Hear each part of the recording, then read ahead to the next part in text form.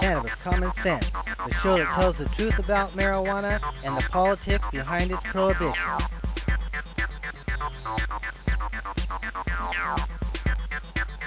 Welcome to another exciting edition of Cannabis Common Sense.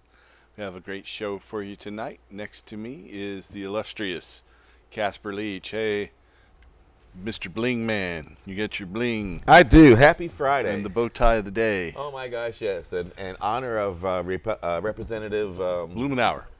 Blumenauer. And over in the wings is Mr. John Cornett. How have you been doing the past Oh, week, real John? good. Uh, Casper told me to quote him. Okay, that's a good quote.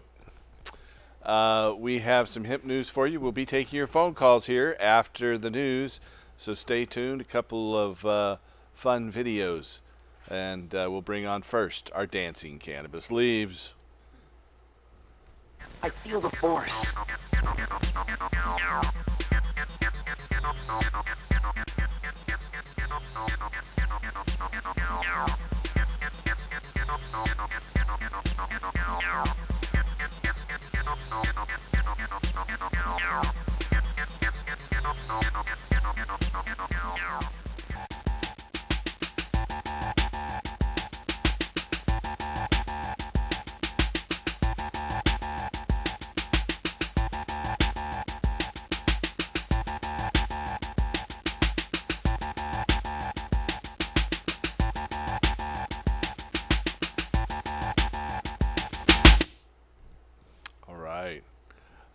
First couple of stories tonight are from the from here in Oregon. The Oregon Senate Bill 460 to allow the limited sale of recreational marijuana at licensed medical marijuana dispensaries beginning October 1st passed the Oregon legislature with a vote in the House. The measure, which had already cleared the Senate, passed the House on a 40 to 18 vote. Uh, adult social marijuana sales would otherwise have had to wait until the Oregon Liquor Control Commission got the rules in place sometime late next year, leaving customers to buy it through the black market. Noting that cannabis sales won't be taxed until January, Democratic Representative Andy Olson said it will take time to get a tax structure in place. The tax holiday will help encourage consumers to get their marijuana from a licensed dispensary, where it will be tested and uh, rather than on the black market. Also, here in Oregon, last week, Democratic Governor Kate Brown has signed legislation, Senate Bill 364, allowing for expungement of some past marijuana convictions. The measure states that, quote, when a person convicted of a marijuana offense based on conduct occurring before July 1st, 2013, files a motion for a court order setting aside the conviction pursuant to ORS 137.225 the court shall consider the offense to be classified as under current law when determining if the person is eligible for the order. End quote. This bill took effect immediately upon signing. So if you have a conviction for marijuana in the state of Oregon, you can now apply to have that expunged or downgraded. That includes you, doesn't it? It does. I'm I'm happy to say that uh, an old uh, 1986 uh, marijuana manufacturing charge could be uh, at least downgraded, if not expunged. We'll see. Okay, across the river in Washington, a bill simplifying the tax scheme for marijuana was signed into law by Washington Governor Jay Inslee last week. H bill HB 2136, which the legislature approved, also significantly loosens the rules on buffer zones that have kept recreational I 502 marijuana shops away from many dense commercial areas. As originally approved by voters, Initiative 502 taxed adult social cannabis at three tiers producers or growers, processors, and retail. Under the new scheme, the three level tax system has been collapsed into one 37% point of sales tax. According to Ian Eisenberg, proprietor of Capitol Hill recreational marijuana shop Uncle Ike's, his customers won't see much of a change in pricing due at 37%. I 502 originally stated recreational marijuana stores can't be located within a thousand feet of parks, schools, and other public places.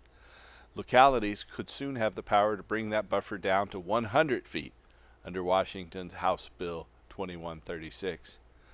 Down south, Democratic uh, Governor Jerry Brown of California signed legislation Assembly Bill 258 to allow medical marijuana patients to be considered to receive organ transplants.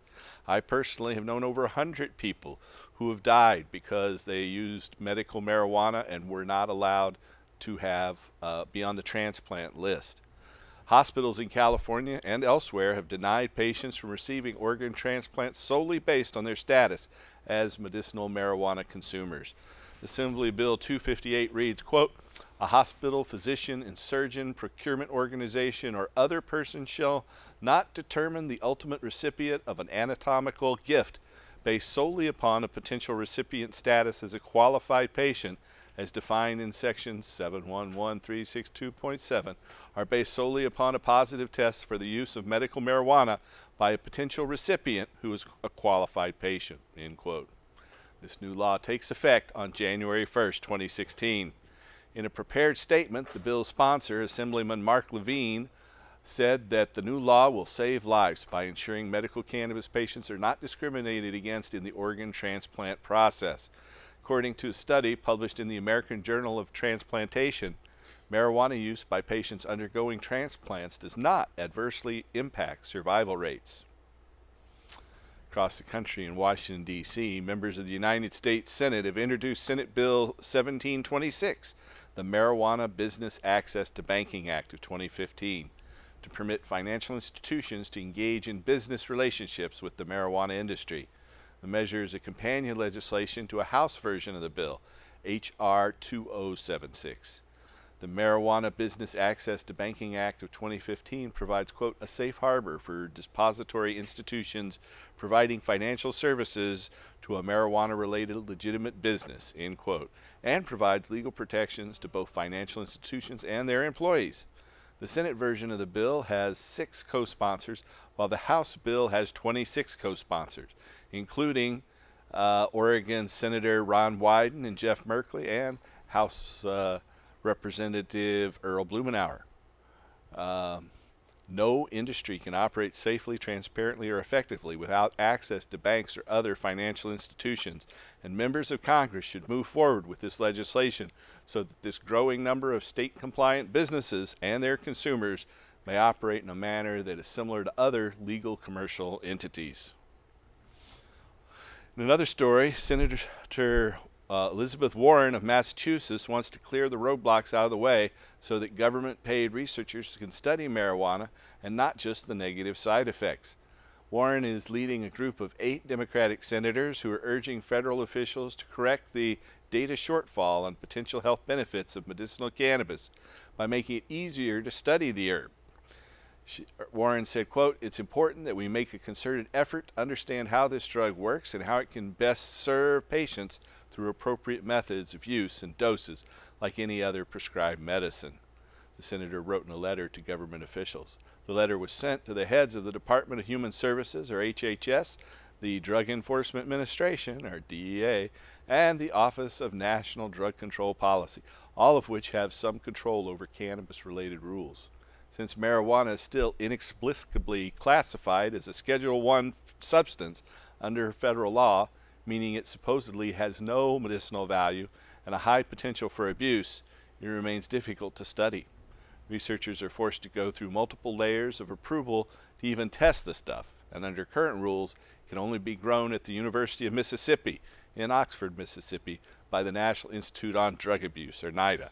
Ironically, the uh, HHS, Department of Human Services, also has a patent on marijuana for its use in pain control and in cancer uh, control. So, on one hand, the federal government says it has no medicinal benefit. On the other hand, the federal government has patented it because of its medicinal benefit. Go figure. Out in the middle of the Pacific, Hawaii Governor David Ige on Wednesday signed House Bill 321, legalizing and establishing a system of medical marijuana dispensaries in the state of Hawaii. Medical marijuana has been legal in Hawaii for 15 years, but patients haven't had an official place to buy their medicine. Instead, they had to grow their own cannabis or had a caretaker do it for them. The bill will also stop counties from enacting zoning regulations that discriminate against licensed dispensaries and marijuana production centers. Uh, the governor said, quote, I support the establishment of dispensaries to ensure that qualified patients can legally and safely access medical marijuana. We know that our challenge going forward will be to adopt rules that are fair, cost effective, and easy to monitor. The bill sets a timeline, Governor Ige said. They'll make a good faith effort to create a fair process that will help the people most in need. End quote. Hawaii's HB 321, now Act 241, creates the framework for a dispensary system that would allow up to 16 dispensaries statewide by July 15, 2016. Down in Santa Monica, California, states that permit qualified patients to access medical marijuana via dispensaries possess lower rates of opioid addiction and overdose deaths, according to a study published by the National Bureau of Economic Research, a nonpartisan think tank. Researchers from the RAND Corporation and the University of California, Irvine assess the impact of medical marijuana laws on problematic opioid use as measured by treatment admissions for opioid pain reliever addiction and by state level opioid overdose deaths. The uh, study said, quote, States permitting medical marijuana dispensaries experience a relative decrease in both opioid addiction and opioid overdose deaths compared to states that do not. End quote. They found that women over the age of 40 showed the most significant decrease in problematic opioid use. The data, published in 2014 in the Journal of the American Medical Association, or JAMA, Internal Medicine reported that the enactment of statewide medicinal marijuana laws is associated with significantly lower state level opioid overdose mortality rates. The authors of the study said, quote, states with medical cannabis laws had a 24.8% lower mean annual opioid overdose mortality rate compared with states without medical cannabis laws, end quote, the investigators reported. Overdose deaths involving opioid analgesics have increased dramatically over the past decade, while fewer than 4,100 uh, opioid induced fatalities were reported for the year 1999. By 2010, the figure rose to over 16,600, or an increase of over 400%, according to an analysis by the U.S. Centers for Disease Control. The full text of this study do medical marijuana laws reduce addiction and deaths related to painkillers is available online at uh, www.nber.org. That's nber.org. Our last story tonight is from South America. Uruguay has stood up to the United Nations on the issue of marijuana legalization, refusing to back down after several meetings with officials from the international body. Juan Roballo, uh, president of the Uruguay's National Drug Board, or JND, announced on Thursday that he will present a report before the UN High Commissioner for Human Rights defending the country's legalization and regulation of the cannabis market. Roballo said he would urge the UN to discuss legalization without taboos. He said, quote, Uruguay has embarked on a different path. Not only have we made proposals, we have also taken effective, concrete measures in a different sense, end quote. Roballo added that the whole world is watching Uruguay and emphasized the special commitment the country has to run a successful legalization process. The UN, meanwhile, claims the legalization law approved by Uruguay, quote, is incompatible with what is stipulated in the 1961 convention, end quote, referencing the Single Convention Treaty on Narcotic Drugs, an international treaty restricting the production, manufacture, export, import, and distribution of various drugs. Uruguay's decision to legalize cannabis has kicked the hornet's nest, according to JND Secretary Milton Romani. The country will not pull back, according to Romani, who said the repressive anti marijuana policies in effect prior to legalization are more dangerous than the drug itself. He explained that they are not talking about revising the conventions, but rather about upholding the ultimate goal of these treaties, which explicitly say they seek to improve humankind's health and well being. The United Nations Office on Drugs and Crime criticized Uruguay in 2014, suggesting their marijuana policy would not only affect drug control in Uruguay, but also negatively impact the fight against drugs in other countries.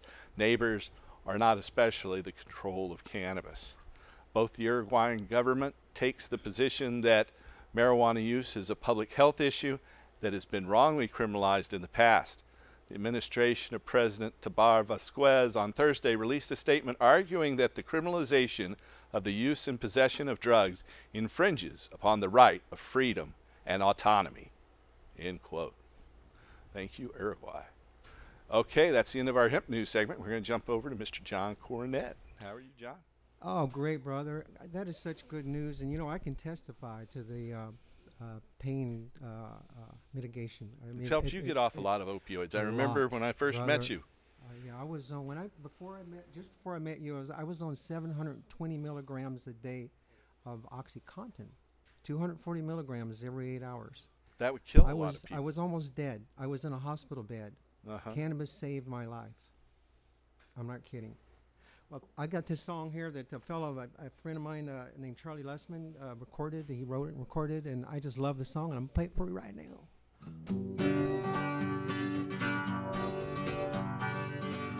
Did you know the sun will shine one day, and everything on earth will melt away? All the oceans rise above the land drowning every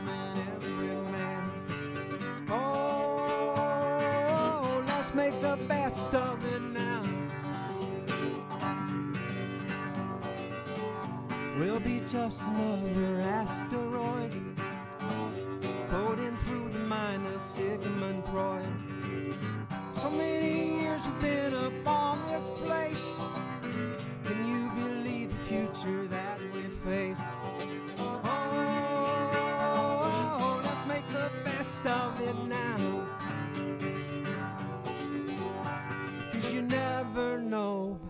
Your time will pass. You've got to do just what you want to do. And if somebody tries to ruin your day, walk away. Did you notice that the world's so strange? Cause our atmosphere's about to change. So many reasons why we kill trees.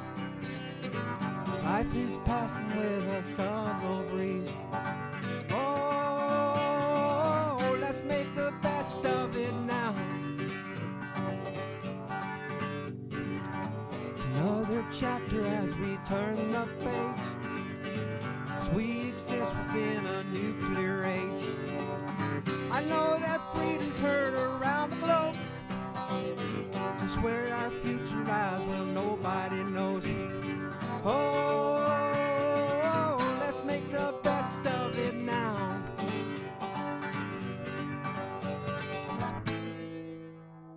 Never know when the sky will fall. Maybe the moon will reach the earth one day. We're not the same race that we used to be. Can't you see? Now, the next time that you fall in love, just appreciate the sun above. Cause the sun is shining on and on. So open up your eyes before it's gone. Whoa, let's make the best of it now. Whoa, let's make the best of it now.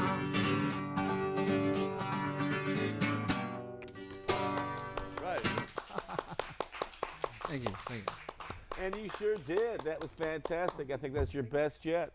Oh, thank you. It's a good Absolutely. song. It's a good song. Very inspirational. It's Mr. John Cornett. We'll have him back at the end of the show. Uh, welcome. Hey, Casper. How are you, man? Very good. How's your week been, Paul? It's been busy, busy, busy. Just seems to get busier, but that's a good thing, so I'm not complaining. Uh, if you are out there and you have a question for us tonight, you can call that number that just popped up on your screen. It's 503 288 4442. That's 503 288 4442. We have a couple calls already standing by. So uh, let's jump right into it and take a phone call. Welcome to the show, caller. Hi, how are you? Hey, how you doing? Hey, uh, I'm just I have a question about industrial hemp and, and what's happening with that. Here's some industrial hemp, hemp yeah. twine, hemp oil, flame, hemp flame of freedom. But those are all products that are manufactured and then then brought into the state. What is anybody That's right. growing hemp in the state? Uh, this oil is Canadian oil. This twine is Chinese hemp twine. Yeah, we, we don't have any manufacturing in the United States yet, but we're hoping that a few farmers in Oregon will lead the way this year. There have been some small harvests the past couple of years in Colorado and Kentucky, but there are going to be some commercial scale farms this year in Oregon, or they already are planted and growing right now. Oh, okay. So uh, as I understand the law, those people have a license, right? We do, yes, that's exactly right. And there's a limited amount of those licenses. You know, uh, no, there is not a limited amount, but there is a minimum amount that they have to cultivate. I think they have to cultivate at least 20 acres. Don't quote me Oh. on that number. I'm going to have to look that up. Oh, But oh, there is no, a no, I minimum just amount. They can't grow things smaller than 20 acres, and they have to grow low THC hemp that's less than three tenths of one percent THC. Yeah, yeah, and I'm only interested in the fibers part of it like that. I don't um, really care about any other part of it. I just Well, you know, I, I think the fiber's great. In fact, I sold hemp paper, and uh, if you go to the great book of hemp out there by Rowan Robinson that was published in 1995, it will tell you that my companies here in Portland, Tree Free Eco Paper and Rope Walk Paper and Fiber, were the first hemp companies in several generations. So I sold hemp paper primarily as a business from 1990 through 1997. But uh, so I'm, I'm very interested in hemp fiber. I'm hoping to get back into the hemp paper business. But I think hemp fuel is the real future. Hemp seed oil is the main reason marijuana was prohibited. And so what we'll see ultimately, I believe, when it comes to industrial hemp, is that we won't be growing those low THC varieties because they only produce about half as much fiber and 120th as much seed oil and protein. So what we'll see is high THC cannabis grown that uh, we harvest the seeds from. It's seeded. We take the residual cannabinoids for uh, medicine and adult social use, and then the residual protein will be food, and the residual fiber will be used for paper, building materials, canvas, rope, lace, and linen. Oh, yeah, that, that would be fantastic. But as of right now, and what's happening right now, where, as I understood the law, is that if you manu- if you grew it here, you had to manufacture it to the finished product within the state of Oregon because you couldn't export it or anything like that. Yeah, I'm not Where sure. would, I- where would I go find, I guess, more information about this? And because, like, some of the things that I have heard and I've understand and I've read, There's several attorneys that are working on this. I would direct you to uh, several time guest on this show, Courtney Moran, uh, an attorney who's been working on industrial hemp. She helped organize an event we went to back during Hemp Education Week in uh, uh, early June, about a month, uh, five weeks ago. And so, uh, uh, in the National Hemp Industry Association. okay. And uh, Julie, what was her last name again? Courtney is her first name, last name Moran, M O R A N. Thank you very much. I appreciate your guys' time tonight. There, You're there are a handful of companies around America that are using hemp uh, base as their as their products. Like Squeaky makes the uh, stain, the hemp stain, that's uh, becoming very prominent in many of the uh, places that you go and shop for. I can't say any of the the online names, Yeah, but I like know. Lumber and uh, One Lumber or Oh, kind- I know what you mean. Yeah, those- Dave Seber. right. Dave and so Seber it's makes hemp this- shield, Right, you're not which is to say used out loud. for. Well, we can say Dave Seber and we can say hemp shield. We can't Okay. promote commercial product, All right. but No, he no, no, makes I a don't that. stain that uh, that can be used uh, on wood to preserve wood. And it's amazing. It's proven itself to be better than uh, what else is on the market these days. Lasts longer and uh, easier to work with. So uh, that's the other thing I like about hemp products is that they have proven to be not only beneficial for the earth, but they're also better than anything that's competing with them. Yeah. Do you know of any more of these conferences that are coming up at all? Say that again. Do you know of any more of these hemp conferences that are going to come up? Hemp conferences. Not right off the top of my head right now. I can't tell you one. Sorry. Oh, okay. Stay tuned. We'll we'll talk about them in the future though.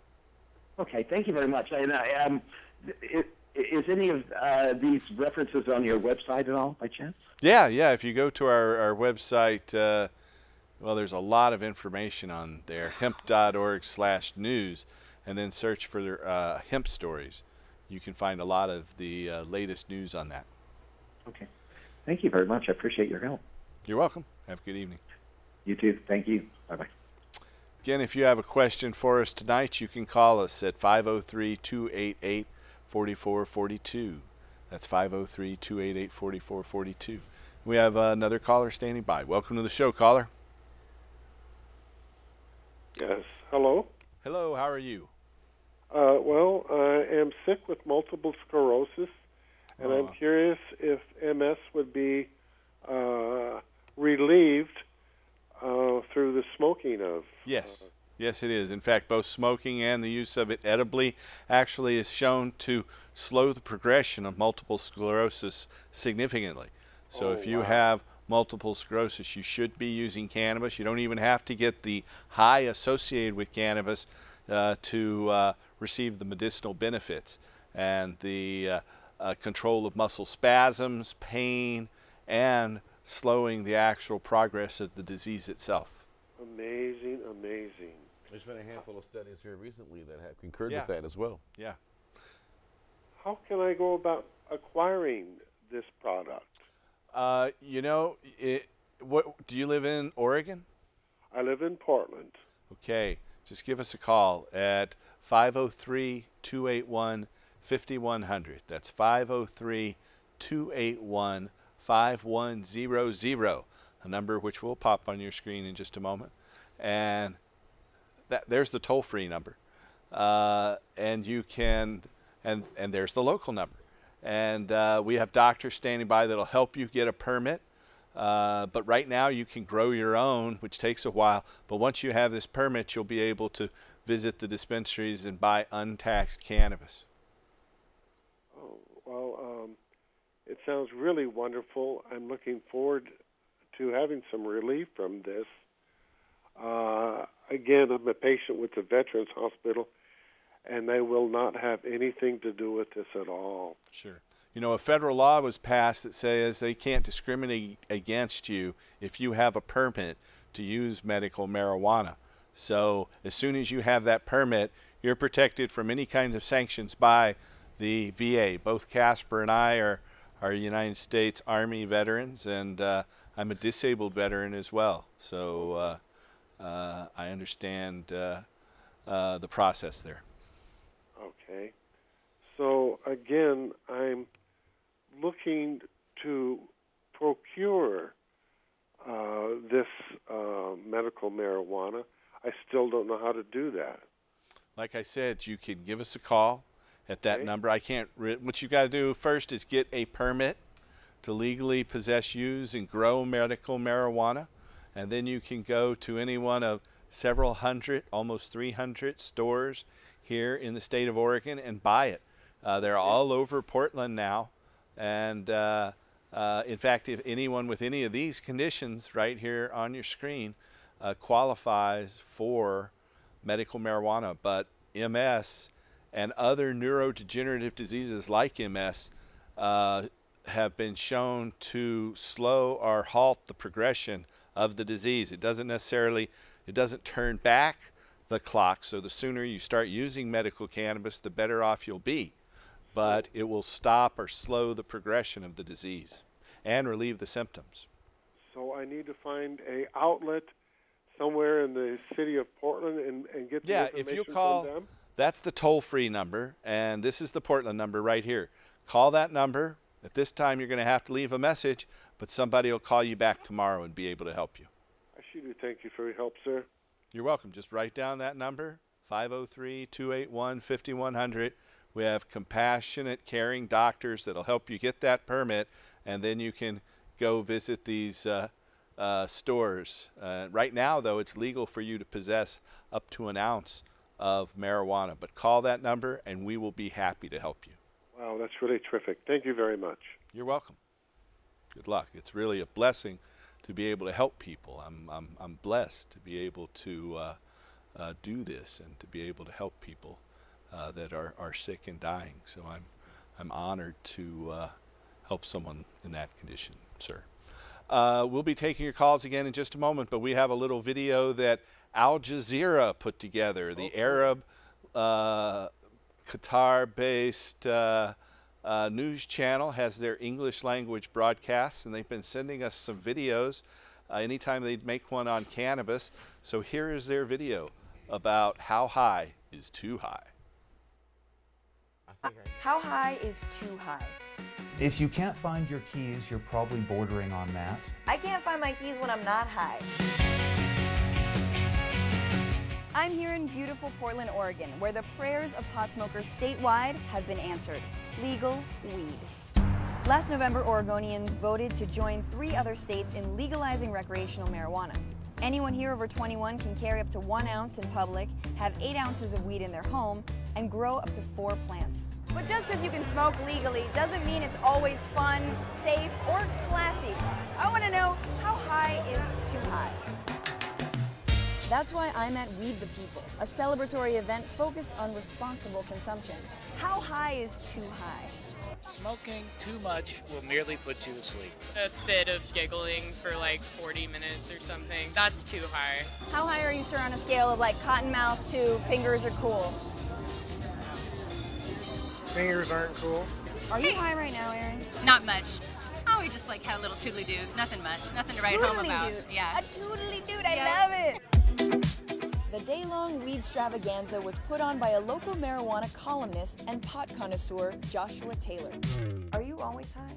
I consume a regular basis when I'm awake, but I would not say to a point where I'm impaired. How are your eyes so white then? Years of practice. Thanks to legalization, the state estimates it will rake in $40 million a year from pot smokers, new and old. So, what should consumers know about the marijuana they're about to smoke before they do so? I think they should know the manner in which it was grown. I think that if at all possible, you should always have your products tested for pesticides and molds. Now you have more terminology, products, and equipment than most people can keep track of. This right here is sort of a breakdown of your cannabinoid profiles. When you use organics, you tend to get better flavors, better aromas. I'm smelling a nutty, oaky, no, that's wine, I'm sorry, uh, like hint of hazelnut. So, how can people go about testing their limits? I think you should always test in private to begin with. It's good to have a friend with you, to not have any plans to drive, uh, operate power tools, and to go slow. Can I can I do like a little reflex test? Do you know what one of these is? Uh, one of the little hacky sack balls. Uh-huh. Okay, ready? No, no, no, no. This is a hacky sack. You know if you fail. This is just a failure for all people who smoke weed. It's just like no pressure. Too high. You're too high, man. Let's do this. Nice. Oh my God. Oh, I'm the one that can't. Nice. You got. you almost killed a hippie. But not everyone is convinced that responsible weed is all fun and games. I talked to Tom Parker, who works for an organization that helps teens deal with substance abuse. I think it's going to be easier for younger folks to get their hands on it because if it's if it's legal, the supply increases and access increases. For me, smoking weed was the best thing in my teenage years. Being a teenager sucks. It does. I think people tell you that teen years are the best years of your life. It's a bunch of hooey. It's the worst years of your life. You're not a little kid and you're not an adult either. Enter marijuana. Enter marijuana. Many studies have shown quite clearly that it really affects all the things that you need and your brain is developing. As a teenager, it's negative for that brain in development. I haven't read the studies. So, are all stoners underachievers, or do some actually play in cover bands? Willie Nelson, Steve Jobs, Carl Sagan, all daily hardcore stoners, and they've all done quite well for themselves. Do you sit around and eat powdered donuts all day? I don't do that. No, I'm too busy gardening. I'm well educated. I have a college degree. I have five college degrees. I'm a computer programmer. Oh, okay. Yeah, so I mean, in a lot of ways, weed has helped me uh, do that because you know when I hit a problem I don't understand, um, you know I could I could smoke and at times see things from a different way.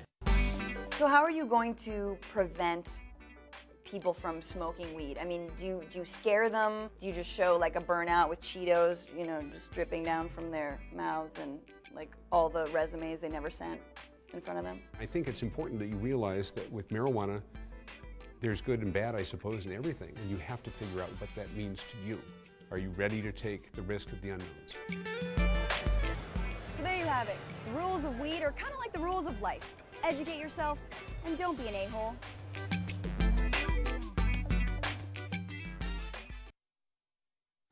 Okay, well, we can thank Al Jazeera's English language service for that nifty little video. Thanks for sending it to us. So, are you ready to take the, the risk? I are am, you ready to? I've weighed the options. See if your your no, brain I, is. Some of it this? though is because my peers you know, encourage me, and they're always like pushing it in front of me and telling me that I'm not cool if I don't smoke it. You know, so that's part of it too. But yeah, I'll take the risk. I'll take the risk. Okay. I'll try it.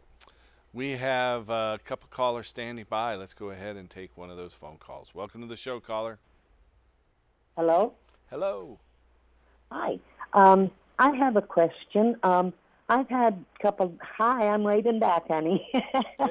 I have had a couple of bags of leaf, or it, and it's kind of all. Anyway, it's something I could use to try to cook with or something. But Yeah. is it any good anymore? That's my question. How old is it? How old is it? Um, a couple of years. Yeah, you probably can cook with it. It, it loses about 10% of its potency a year. So uh, if it's a couple years old, uh, it's about 80% right now. Uh, I heard somewhere on the uh, grapevine or marijuana vine uh, that uh, the older it got, the better it got, like wine, and I didn't quite. no, that's not true. no, it's the the fresher it is, the better it is when it comes to cannabis. Okay, and one more question. They're not going to mess with my medical marijuana, are they? No, they are not. We're just going to keep expanding it and try to make it cheap and plentiful. Thank you. They've messed with it across the river in Washington State, but in Oregon, it's it's we're we're not going to uh, curtail the medical marijuana program. Great, because I have a grower. That's really the only way I can afford to smoke it. I figured out with my license cost and the uh, grower's cost, it costs me two dollars and fifty cents a week to smoke all year. I see. Well, that's not too bad. It's less than a Not pack of all. cigarettes, right? well, thank you so much, and y'all have welcome. a nice show. Thank you. Thanks for watching. Thanks for calling in. If you have a question for us tonight, you can give us a call at 503 288 4442. That's 503 288 4442. But we have another caller. Welcome to the show, caller. Oh, not that one. Marijuana helped me with my emotional whiplash yesterday. Okay, what does that mean? And that means I woke up yesterday morning and I heard that Obama was in prison. And I just danced and I got high and it was like music and happy. And then I hear it was like a tour, like when you go on holiday with the kids. It was a, so it was like, well, then It's I had to get first- happy again. So the I first president to go into a federal prison. So Well, that we, yeah, that- voluntarily. Yeah, no, there haven't been any that were put in involuntarily. Ford pardoned Nixon. So, uh, so what was Michelle's husband doing in there anyway? I heard he made some good quotes and he's. he was saying that we've got to reform the criminal justice system, and I certainly agree with that. Uh, we'll see if he can uh, have any progress here in the last year and a half of his uh, uh, administration. But uh, uh, there seems to be bipartisan support for this, so hopefully that's the case. Okay. Well, like I said, it was an emotional whiplash. It was happy and then sad, and I had to get off. So thank you for the good marijuana that I, I get. It helped me get through that, that rough day yesterday. You're welcome. You're welcome. Yeah. Um, I went out and visited our garden yesterday, and already the plants are about 11, 12 feet tall. Now, are you talking So- about your garden or your 40 acres of My- my- farming? My garden here in Portland. Oh, okay. what I'm 'Cause I, I know sometimes you'll call your 40 acre your garden. Just- yeah, well, that's a farm. Yeah, okay. That's a farm. But uh, again, if you have any questions for us, you can call us at 503 288 4442. Are you getting photos of your of your garden? Yeah, yeah, there'll be there'll be some out there. Uh, when all things in good time, Padawan. Sounds like our governor's pretty groovy. It is. You know, I worked for Kate Brown during her first legislative session. I uh, uh, was an intern in her office in fighting the recriminalization of marijuana back in uh, the first half of 1997. So if she let me work in her office, she's got to be pretty cool in my book. And I th- is it is it true that the former governor's wife's going to have a marijuana growing TV show? No. Oh. no. I like that. I like that I joke. just curious. No, no. I don't know what's going to happen with Be Mr. good for her. Kitzhaber. She's probably pretty much of an expert, what I hear. Um, no, I don't think she ever got off the ground, is what I Oh. understood. But uh, Well, most good growers she had that, plans right. that, that made the media somehow. I mean, I really don't know, but uh, that's the way that cookie crumbles, you know. So, how are things going out in the land of time for hemp? Hey, Rock, we're having uh, new artists come on and, and bring new shows. We like that. We got Gateway's Legacy joining us in a couple of weeks. And we got Paula Willett. Yes. In Kentucky. And we got right. Cannabis Labs that's kicking off their second show next week. We appreciate that. We got a couple of new sponsors that have been coming on board. We are grateful for that. And our audience is growing with new apps that people can use to download into their smart devices to share us with your friends. And and so we're pretty stoked about being the only all cannabis all the time broadcasting network on iHeartRadio. And thank you, Paul, for the shameless plug about how wonderful timeforhemp.com is and how you can share us with your friends. Okay. You're just like like just throw the switch. And I appreciate it. There goes that 30 second. Uh, There you go. Uh, relation. Well, I'm pretty excited about the expunging criminal records. Uh, uh, it, they say that if what you were doing is legal today, then uh, you can have your record downgraded. And I think I had been convicted back in 1986 uh, for growing or manufacturing uh, marijuana. I think now that becomes a Class A misdemeanor. Yeah, you were one of those radical people back then with all those hippies. I guess so. Yeah. I guess so. I'm still a pretty radical person, but uh, that's another story.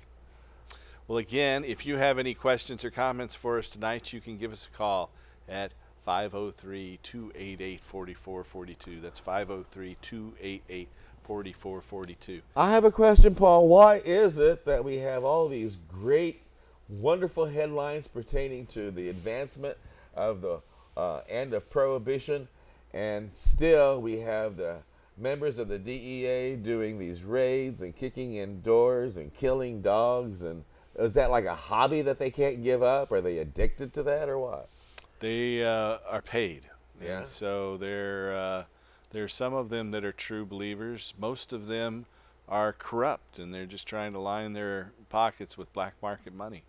But uh, uh, it's uh, something hopefully that's changing. For instance, the federal government said that Native American nations could grow cannabis, but a couple of weeks ago, Right, they kicked in the a uh, uh, Native American reservation right at the corner of California between Idaho and I mean, excuse me, between Oregon and Nevada uh, was raided, and they Mhm. they took the thousands of plants and over Mhm. a hundred pounds of processed marijuana. So uh, I don't know the story behind any of that, but it seems to counter the declaration that the federal government had made just a few months before that, saying that uh, these folks could grow marijuana.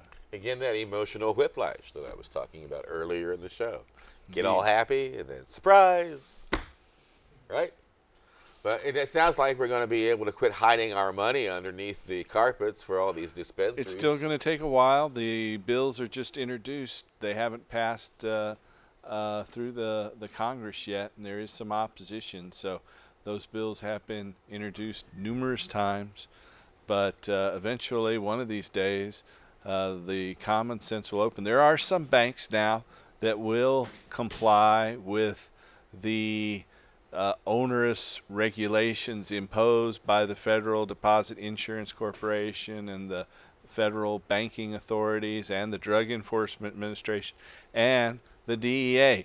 Uh, unfortunately, just uh, uh, this past uh, few weeks, the Ninth Circuit Court of Appeals ruled that uh, marijuana businesses could not take standard business deductions, that they had to pay uh, taxes on all of their income, and that they could deduct regular business expenses that all other businesses are able to deduct. That doesn't make sense. They say you as a business cannot take these business deductions. Right, and I and I can't believe the Ninth Circuit Court of Appeals uh, uh, ruled in favor of that, but that's what they did. That's like So- what you said earlier at the top of the show, whereas there's no medical benefit, but oh by golly, we've got a patent. Yeah, yeah. The federal government has a patent on cannabis as a pain, uh, for pain relief, and as uh, an anti-tumoral, anti-cancer agent.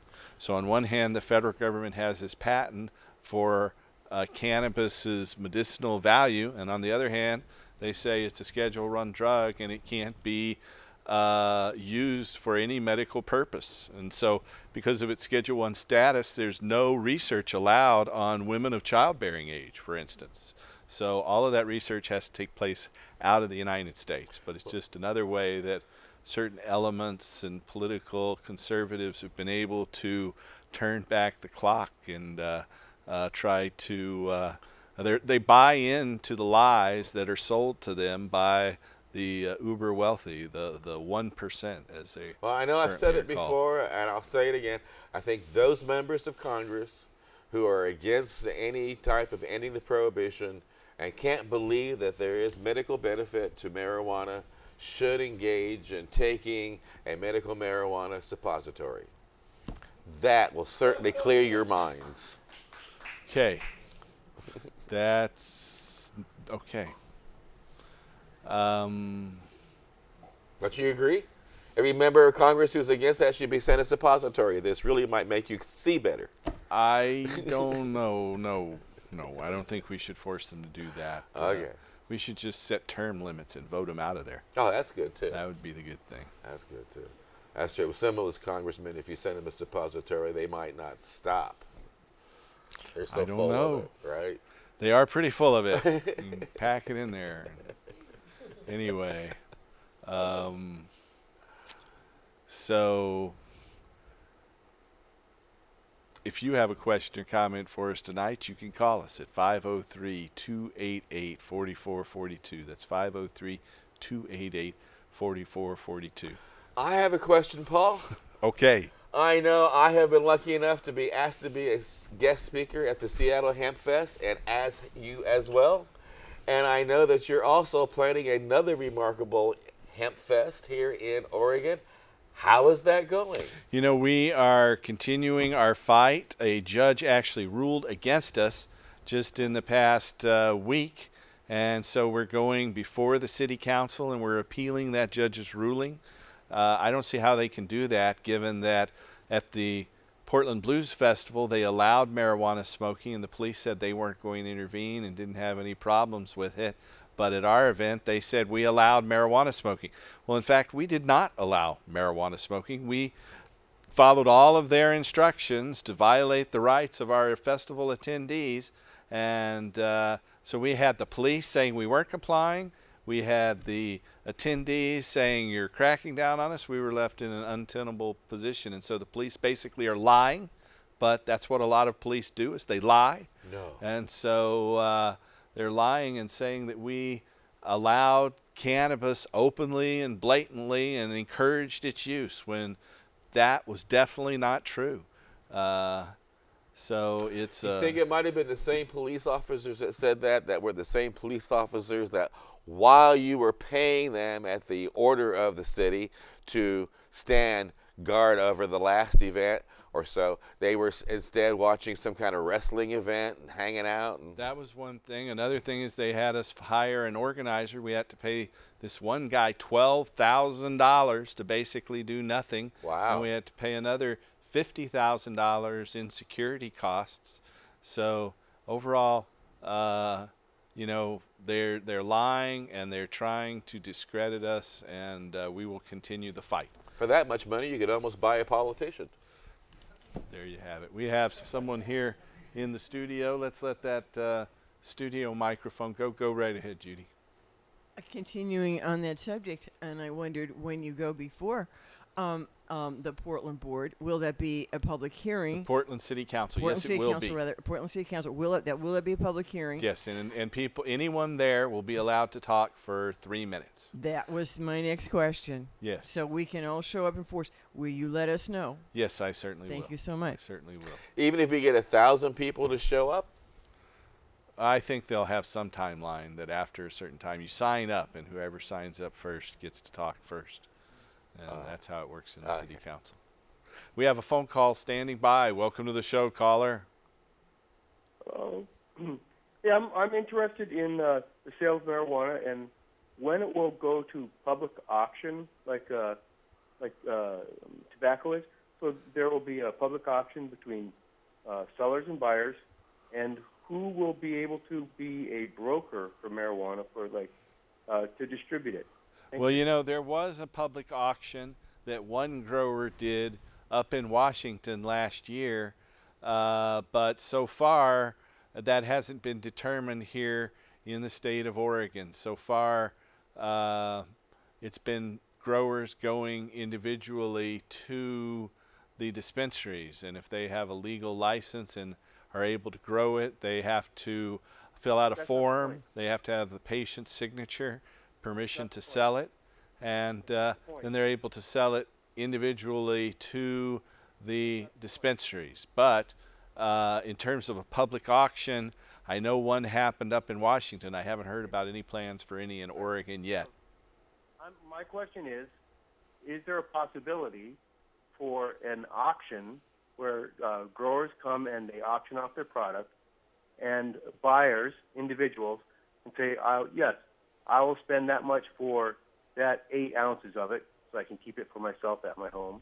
When is that going to be happen? When, I mean, Well, like, it, it won't be to individuals. Uh, the the auction up in Washington were by licensed growers and processors to licensed retailers, and so if there is a public auction, that it won't be to to individual consumers, but rather to processors and uh, retailers. And there are a lot of processors out there, all these different. Uh, uh, companies making extracts that are looking for product to make into extract right now. And so uh, I can't say exactly when those auctions might happen, though. as an individual, I'm asking, is it uh, are we looking at uh, uh, being able to go to the auction house and say, if you or or can I have can I have a, a farmer grow my my portion of weed for me as a as a recreational user?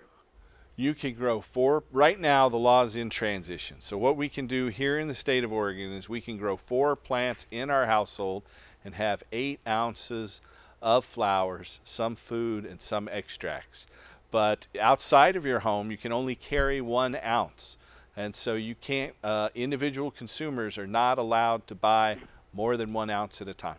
And if you have a medical card, that's a lot different, right? Yeah, if you have a medical card, you can buy up to a pound and a half. I, I, don't, I, don't, I don't have a medical card. I But is it possible that I can have like a, a CSA or whatever, a farmer cooperative? Yeah, that's possible. What do we have to look at in the law? To, to You have to go, uh, you know, those licenses aren't going to be issued for some time. Right now, the only licenses are medical, and the Oregon Liquor Okay. Control Commission will be issuing licenses, uh, but not until probably this time next year they'll start uh, uh, figuring out how to do that. So we're still a little ways away from that. Thanks a lot. Okay. Have a good night. Thanks for your questions. Okay, well, uh, we are counting down. We've got just about four minutes to go. Uh, you want to plug your websites one more time, Casper? I would encourage people to go to timeforhemp.com and check out all of our team players. We got about 17 different hosts that are dedicated to ending prohibition and are raising the voice of the marijuana movement. We are the only all the time all cannabis broadcasting network on iHeartRadio.